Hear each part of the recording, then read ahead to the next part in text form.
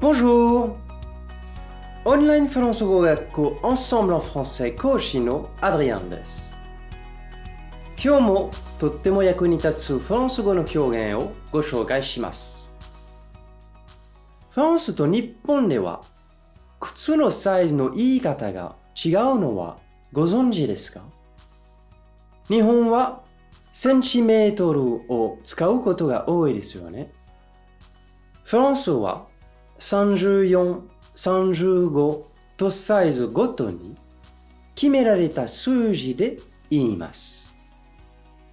さて、靴のサイズという時のサイズをフランス語では何と言うでしょうか？La pointure. La pointure. La pointure.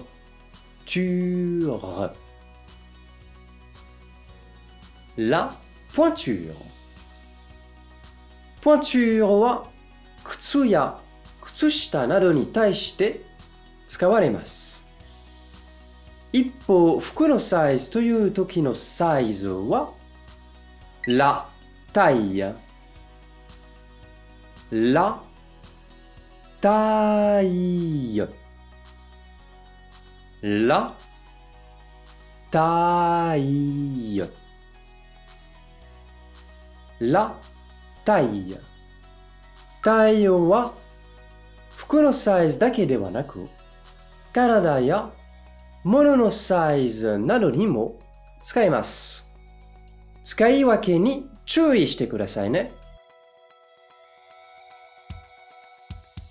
さて、もっとフランス語を勉強したいという方は、Ensemble のレッスンでお待ちしています。ありがとう